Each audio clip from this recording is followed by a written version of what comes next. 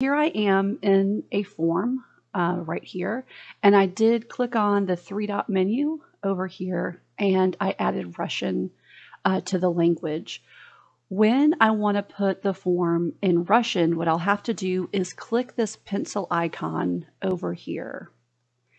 The other thing that I'm going to do is I'm going to open a web browser window and I'm going to use this Microsoft Translator right here. I'll include the link in the email. So what I can do is I'm just going to come and I'm going to actually pull this out right here as another window. And I'm going to um, set this so we have both um, the form over here and the translator right there. So all I'm going to do is I'm going to copy this. Um, let me go back. And I want to copy. So I did, I highlighted it, control C. I'm going to come here into my translator window and then it's going to translate for me into Russian. I just have to click this copy icon here and I'll put it in this under um, this text box underneath. I did the same thing for one, two, uh, three, and four. So for number five, I'm going to come here and click on number five. I'm going to highlight um, email address right here. I'm going to copy it, paste it over here, and then copy this and add it to this lower box right here. Same thing for number six. When I click on it, it's going to open up a thing for me to um, enter some text. I'm going to put it into translator, copy the text. I just have to add it to this lower text box right here. Same thing for the answer choices. I'll just grab those and put those here. Grab the text right here and grab that translation. Same thing for phone. And I'll copy and then I'll add it down here. So you'll see what I have to do is I have to provide the translation. You can use this Microsoft Translator where you can translate text.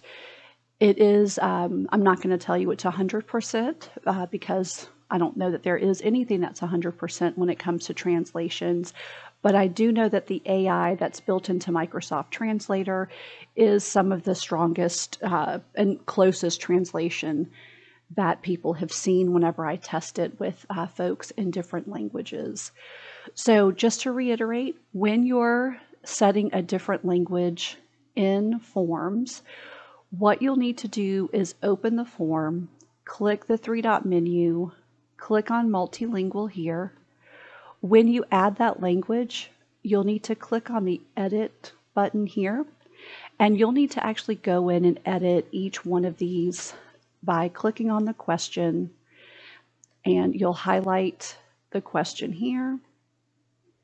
I would have a translator window open, paste the text. Once it's translated on this side, you can just click this copy icon here and paste it. So for each of the answers, each of the questions, and each of the answer choices, you'll have to provide your own translation. So I don't know if you have someone who can help you with this or if you need this uh, translator right here, I am going to include that link and you'll add the translation yourself. So now that I've done a couple of these questions, what I want to do is go back here. And we're going to come and open this, I think, all the way. So now what I want to do is preview the form so we can look at that multilingual form. So from here, uh, the attendees will, or the respondents, will see the form they'll be able to click the down arrow when they choose Russian here. The entire form will change. Whatever questions I translated will be in Russian for them. So, unfortunately, there's no just simple magic trick. Uh, I wish it were. When you click the language, it would just do it for you. Um, but that's not the case. What you'll have to do is go in and translate each of those questions yourself. But once you do it, you have the form, you have those different language choices, and then you can send your form off to whomever. All right, hope this helps, and uh, please let me know if you have any other questions.